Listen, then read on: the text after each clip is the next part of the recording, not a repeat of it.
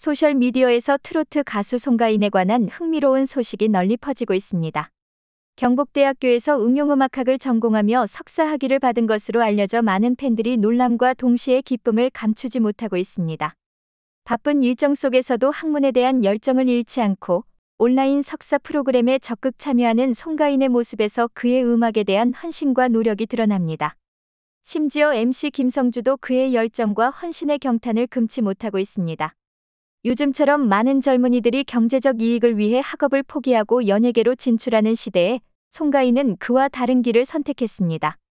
이미 한국에서 가장 인기 있는 트로트 가수 중 한 명이 되었음에도 불구하고 그는 지속적으로 지식을 쌓고 자신의 기술을 향상시키기 위해 노력하고 있습니다. 이러한 송가인의 탁월한 성취는 그가 어떻게 지식과 예술에 대한 균형을 이루며 성장해 나가는지를 보여줍니다. 송가인은 예술가로서의 역할뿐만 아니라 학자로서의 모습으로도 많은 젊은 예술가들에게 긍정적인 영향을 미치고 있습니다. 그의 학습에 대한 끊임없는 열정은 다른 이들에게도 학습과 예술 사이의 균형을 이루는 방법을 제시하며 음악 산업에 긍정적인 변화를 가져오고 있습니다. 송가인이 계속해서 탁월한 음악 작품을 선보이고 다음 세대에게 영감을 주는 역할을 하길 기대합니다.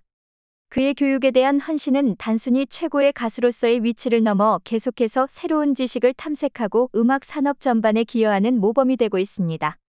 그의 꾸준한 자기개발 노력은 팬들뿐만 아니라 예술 커뮤니티에서도 큰 존경을 받고 있으며 그의 학습 방식은 현대적 학습의 유연성과 창의성을 잘 보여주는 사례입니다.